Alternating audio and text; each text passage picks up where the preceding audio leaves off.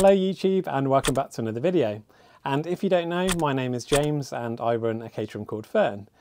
So what I'm going to do this year is do a little mini series of what I actually do over winter to Fern. And this year I've had to do a lot more than what I would do normally. So hopefully it'll be some interesting videos. And in this video we're going to do a service. So that's going to include an oil change, so changing the oil filter as well. We're also going to change the spark plugs and clean the air filter. So I'm not going to tell you exactly when you should be doing this because it depends on how you use your car. And for me, I generally do between six and 8,000 miles a year and around about kind of five track days a year, something like that. What I did do last year is I did the oil and filter change um, after around about six months, so it's kind of in between that time. But maybe a year would have been okay, but surely the, the more times that you can change your oil, that's only going to help your engine. So for me, I generally do this around about twice a year, but the spark plug's only once. So what do we need um, to do this? Well, let's have a look. So this is everything that we're going to use. First of all is oil. So this is the brand that I use, um, mainly because it's on the Caterham website and they sponsor Caterham. I generally get all of my fluids from Opie Oils, but obviously lots of different brands available and other suppliers. Uh, this is the oil filter, and this is Caterham branded. No one's going to see it under there, um, but I do use the Caterham one, but I'm sure there's other brands out there that you can use as well. These are the spark plugs that I'm going to use.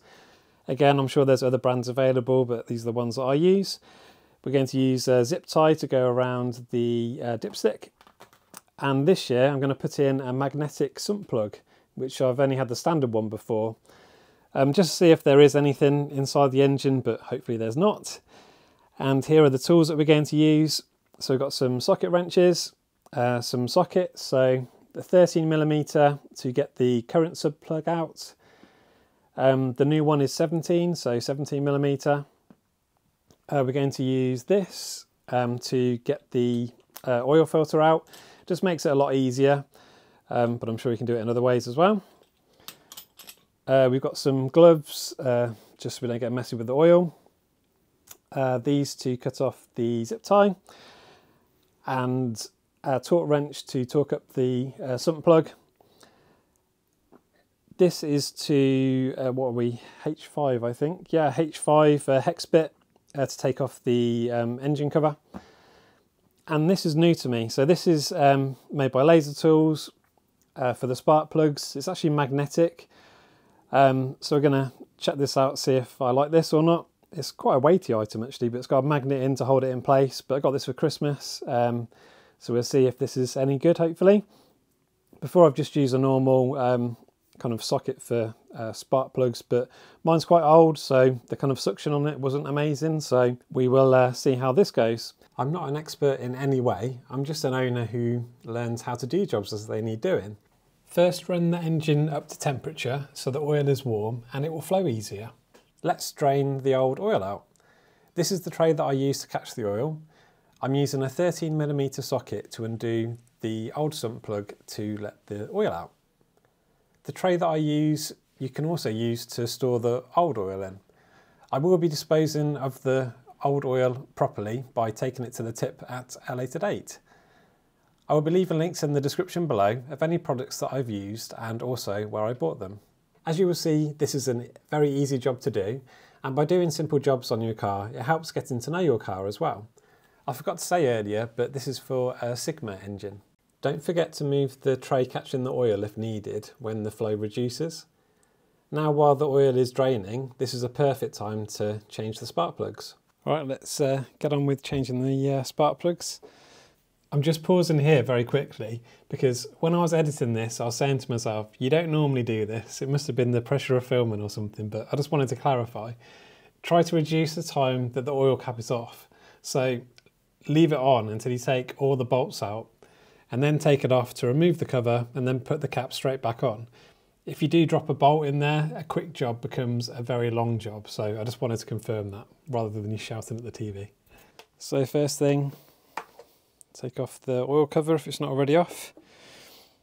And then I'm going to use my H5 socket to undo these screws.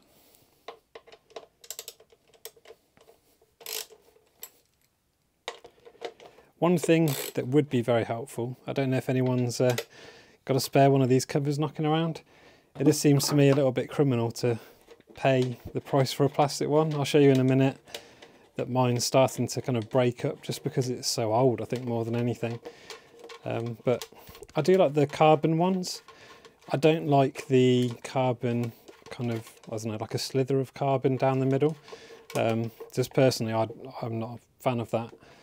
Um, but yeah, if anyone has a spare one that they, um, I don't know, want to sell or anything like that, then uh, yeah, just give me a shout. Because it just seems a bit criminal paying the full price for one, personally. Let's do this one a little bit more. But I'm really excited to use this uh, this new tool just to see what it's like. But we shall see. Put it through its paces. Right, that is out. So those three screws were out and there was a plastic thing there. And this is the engine cover. And as you can possibly see here, so each time I take this off, well basically each time, it seems like a bit of plastic kind of breaks away here. It's just really quite brittle. Um, so yeah, if anybody does have a spare cover, let me know. So here we are, I'm going to put the um, oil cover back on just to make sure that nothing goes in there, even though I'm sure it'll be fine. So let's uh, take the leads off and then get to the spark plugs. Oh, that is a is a very good noise, is that? So here is the um, tool that I've got from um, Laser Tools Make It. So there's a kind of little hand grip here, and then a uh, wrench can go on it, and then it's magnetic, and the spark plug obviously goes in there.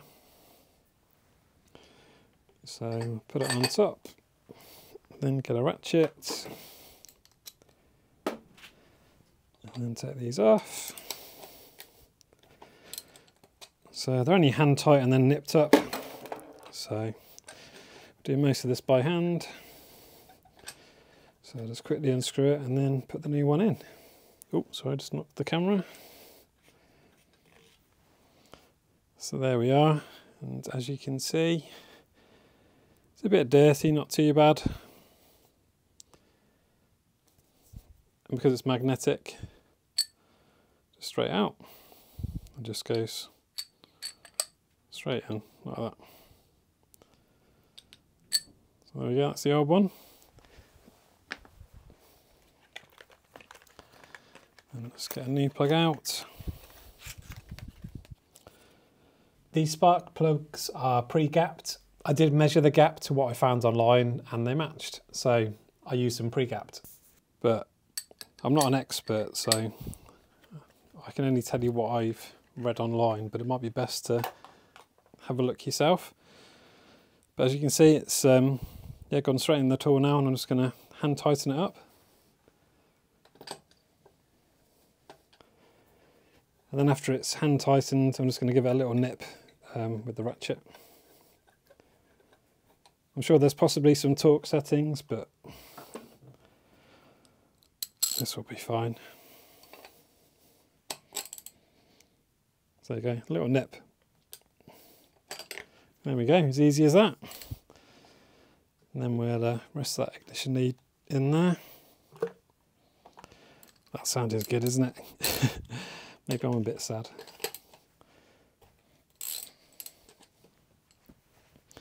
So okay, that's one done on the second one already. So it's a very easy job to do. And if I can do it, I'd say anybody can. And it's a perfect time to do it while the engine oil is uh, draining as well. So again, new spark plug in, and then hand tighten. I always start them off a little, going backwards a little bit just to make sure that they're definitely on the thread, just to make sure that you don't cross thread it.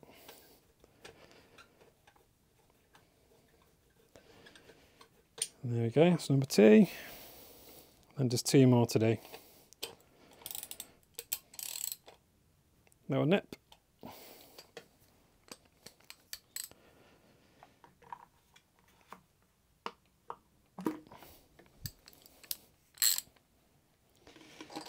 third one.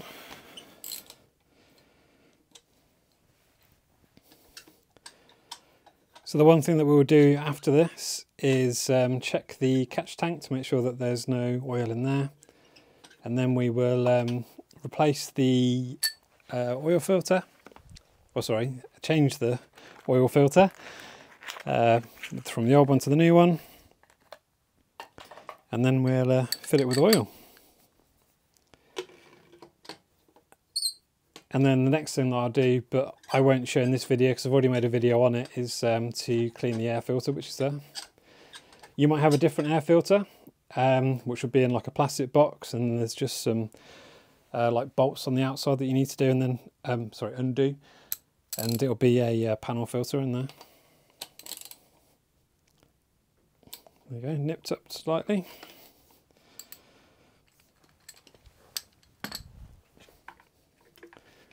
And the last one's a little bit harder to take out just because there's not much space.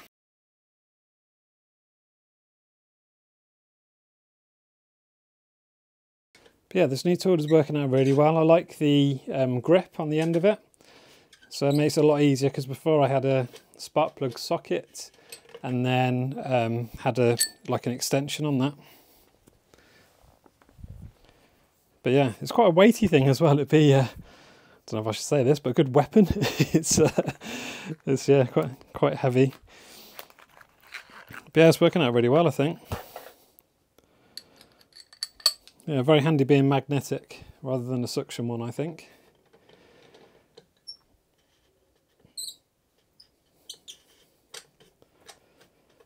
And yeah, just yeah, very nice kind of hand grip on it, and obviously great that you can put the ratchet in as well.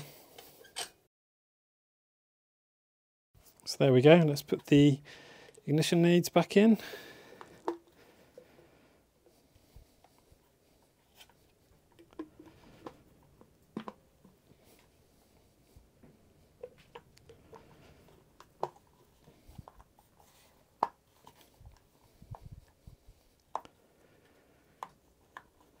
So just take the oil cap back off and then put the engine cover back on.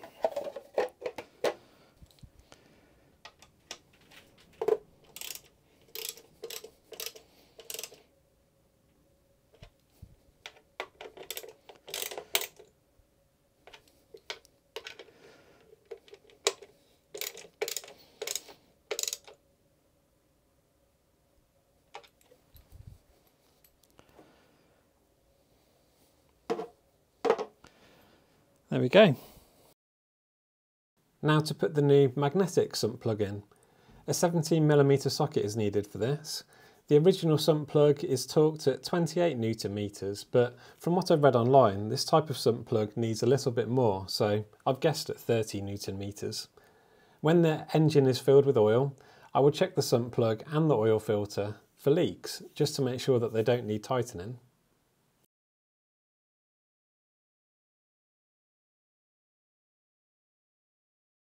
Now to undo the oil filter, which is on the other side of the engine. Make sure that you have put your tray to catch the oil underneath first. I am using an oil filter wrench to make this easier. It's a good idea to wear a glove as it can get quite messy by getting oil on your hand. When the oil has drained, I'll wipe the area and then put the new oil filter in.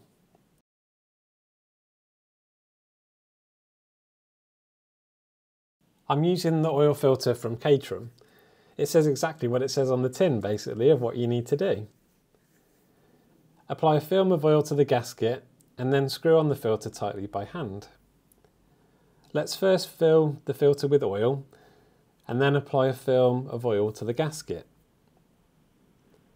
Now I'll screw the oil filter on by hand.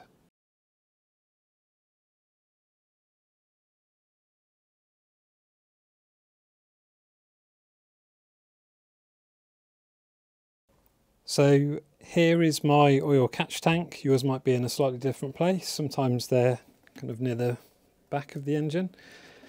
But for me, it's just taking out these two pipes and then just pulling it out. He says the coolant uh, the coolant hose is a little bit in the way, but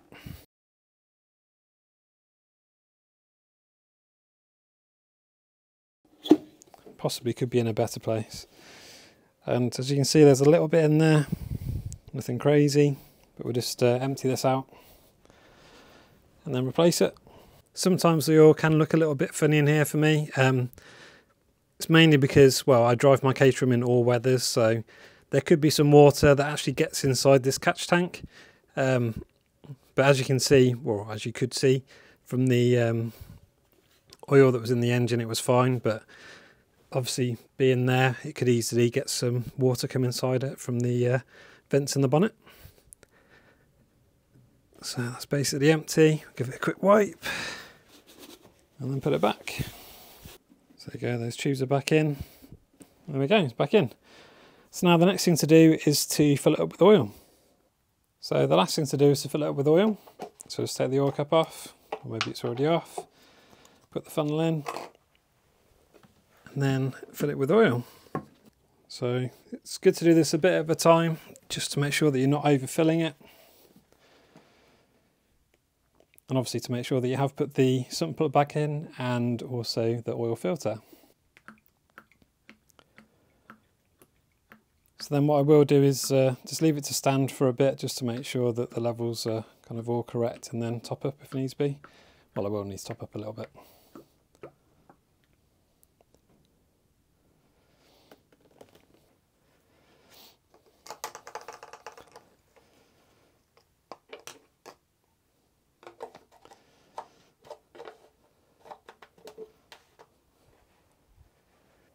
So what I've done is I have um, left this to settle for a little bit. And now let's take it out and see if the if I'm happy with the levels.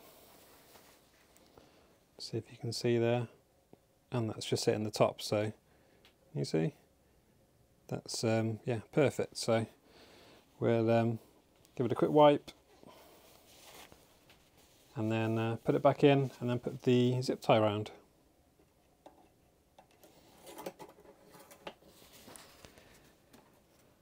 So hopefully you can see there's a little bracket here.